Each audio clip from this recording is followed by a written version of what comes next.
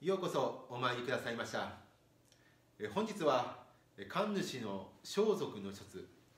仮絹について少しお話をさせていただきます。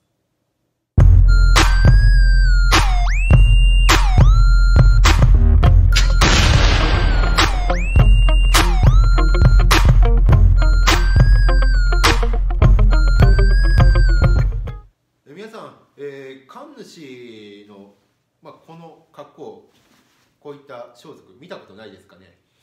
えー神社にお参りしてですね、まあ、お祭りとか、えー神事が行われている時神主がこういう、えー格好をして神事奉仕しているかと思います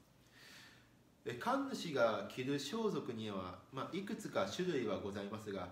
この私が今着ている装束、えー仮絹という種類の装束でございますでこれがですね、えー最も多く、えー着着想する、まあ、着る装束の一つでもございます、えーこの装束、まあ、皆さんあの神社以外で見たことないですかね、まあ、なかなかないかと思いますが例えばあの、まあ、大河ドラマでですねまあ、平安とか平安時代ですとかあれぐらい昔の大河ドラマで、えーこういう格好をしてる、まあ、人たち見たことないですかね、えーあとそうですね、えー最近ですとおじゃる丸的な、うん、それこそ平安時代の貴族が着てるような格好ですよね。えこれはも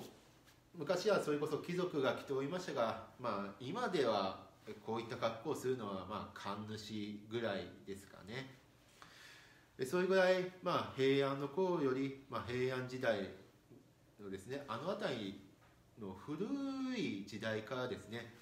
えー変わらぬ装束を、えー神主たちは現在も着想しております。えーこの、えー装束でご神前でえーご奉仕をさせていただいております。この仮絹というもの、えー昔はそれこそ、まあ、貴族たちの、えー着るものでございました、えーでは一体、えーその時代の貴族たちどういった時に着ていたかといいますと、えーこの仮絹というもの、えーまあ、今でいうちょっとしたおしゃれ着にあたるそうです。おしゃれ着、えーそうですね。ちょっといいデパートにこの格好でショッピングに行くようなそんな感覚ですかね。なんか今で想像すればちょっとシュールですよね、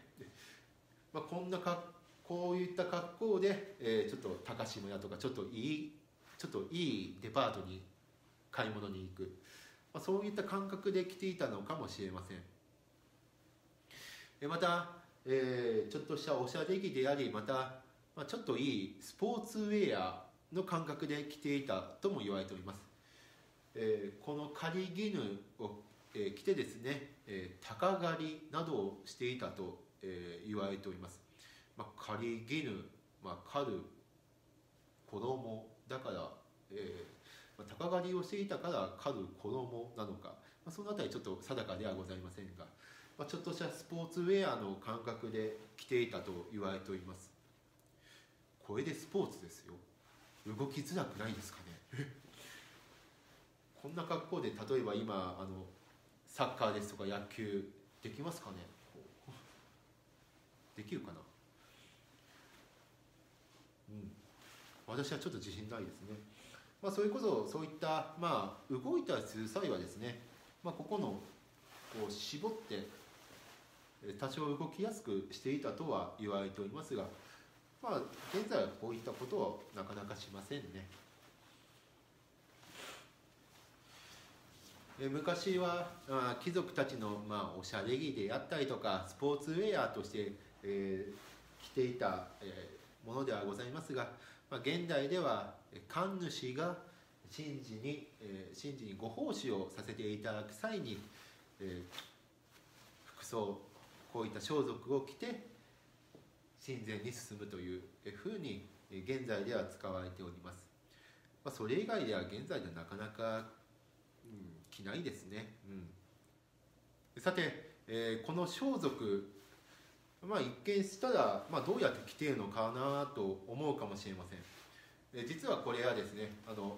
腰に紐がありましてこの紐一つで着ております、まあ、着る、まあ、構造としてはですねとても単純なものでございます、まあ、つけるのもですね、まあ、泣いたらパッと切れます。そんな1分もかかりません。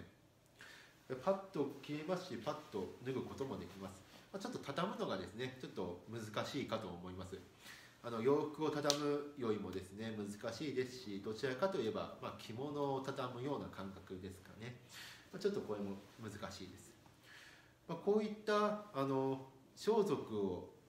を着る、まあ、作法もございます、まあ、装束を着る、えー、着方そういったもの、えー、技術が必要です。そういった技術はですねえー、エモンドと申しましてあの茶道や華道と同じく、えー、装束エモンを、えー、着る、え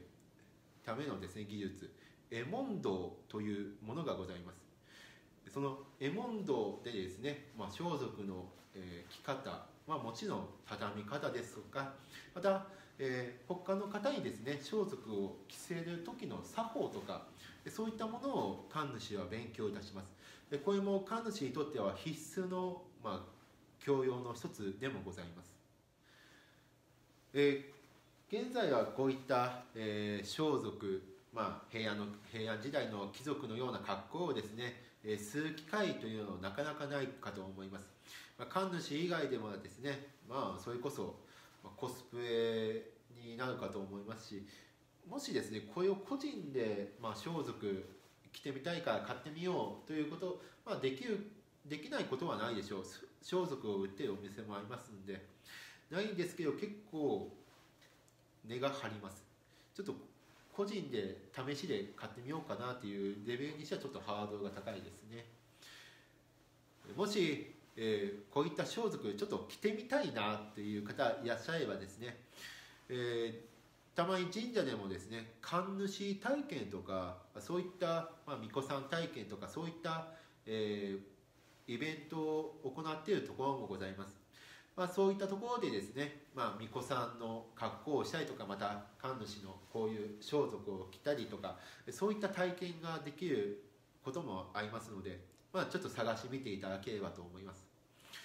また先ほどお話しさせていただきましたエモンドというのもですねまあ、華道や茶道のように、まあ、教室を開いていらっしゃる方もいらっしゃいます。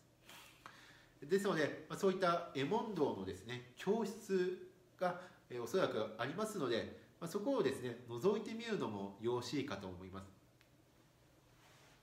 よくこういった装束の、えー、まあ着想体験とかございますので興味のある方はですね是非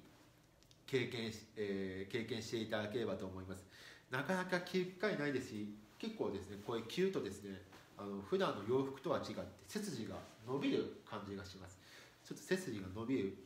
ピシャッとした感じがしますので一度体験してみるのもよろしいかと思います。もし興味があればですねあのご連絡ください。もし、まあ、たくさんの方は集まればですねあの宮崎神社でもやってみたいと思います。それだけ興味持っていただくのは大変嬉しいことでございますのでぜひ皆さんもそういった、えイベントですとか教室、え探してみていただければと思います。ご視聴ありがとうございました。もしよろしければチャンネル登録をお願いいたします。